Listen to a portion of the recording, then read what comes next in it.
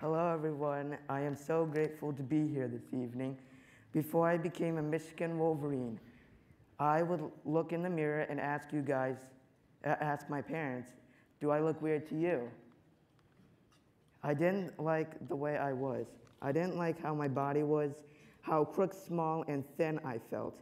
I wanted to be big and strong like my brothers. I know now that I'm not alone.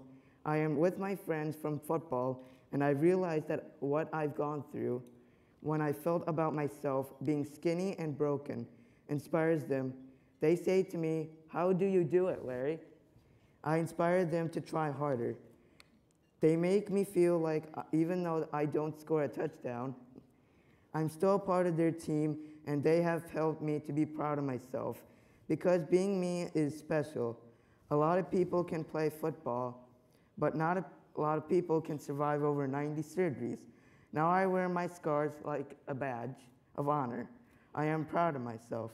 Thank you for helping make my dream and the dreams of the kids like me come true. I am so grateful.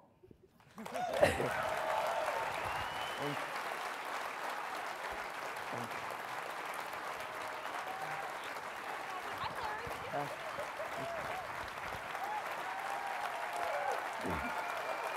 nice work, Larry. Thank you. So if, if you follow football or Michigan football at all, as you heard in the video, they are in Rome, met the Pope today, actually, who got a Michigan helmet. So I asked Larry earlier when we had a chance to meet, why aren't you in Rome? He said, because I have to be here. Yeah. I said, okay, well, that makes sense, I guess. So we're going to talk to you, Larry, in just a minute, but we want to talk to mom and dad as well. Uh, Kathy and Larry, uh, such a tremendous testament to your family and what you've been through. But Kathy, I want to ask you, uh, what, how has your family changed since Larry was drafted by the University of Michigan? She's going to defer it to me, I guess. Okay, you, you're, going to get one though sooner or later. That's all right. Um, speaking of the team, we've been married 30 years uh, Tuesday. thank you. On my birthday, by the way. Um, it's helped our family, and again, as a team, we have six children. Our oldest is 29, and Larry is 15, and they've all had a hand in his care over the years. And um, it's just brought so much pride, uh, the hard work from what they've done and what we've done as a family, the doctors at the hospital, and uh, just watching him. Uh, Team Impact has helped him socially and developing because he spends obviously his time at the hospital, he's homeschooled, there's a couple of hours at high school and uh, by the way, the Impact Team Impact has had a trickle down effect where his high school teams had him, brought him on as well. And so it's really just been a win-win for everybody. You know, there's awareness about disabilities, there's all of that. So it's just been wonderful. So just a sense of pride. You know, we've been fortunate enough over the years to hear from some phenomenal doctors and physicians who talk so openly about the work they do, which I know we all appreciate. They also say there's only, there comes a point where there's certain things they can't do. And they can't provide a child with the normality and the, the experiences that a healthy child might have. And that's what Team Impact does. Uh, what's been your proudest moment as a parent or as a family uh, during Larry's athletic career? I'd have to say my proudest moment was during the Illinois game when Larry was first introduced at the stadium to all of the over 100,000 fans.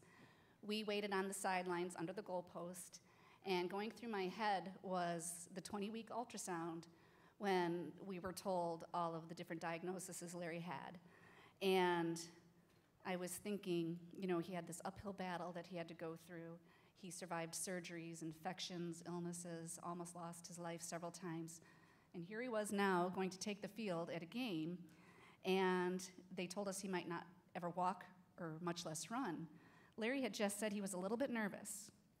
And I said, You'll be fine, you'll be okay. All he had to do was take one or two steps, and then our family was supposed to follow. When they introduced Larry, he took off running. Um, our, we froze and just stood there with our mouths hanging open. Larry went he went so far that the cameraman almost fell. His cord ran out of cord. He had to stop him. And uh, we were stunned. As we went back to our seats, Larry was giving high fives to people leaning down out of the stands. we took our seats, and I had a text message. And I looked at it, and it was a picture of Larry taking the field, and it was sent by his surgeon, Dr. Ron Hirschl, who's been with most of those 93 surgeries Larry had. He happened to be at the game. He was sitting right up behind us, so it was a proud moment for him, too. And all I could think was we came full circle. We started at Michigan, he's still at Michigan, and he's part of the team now. It all seems so fitting. And his doctor was there, so it was wonderful.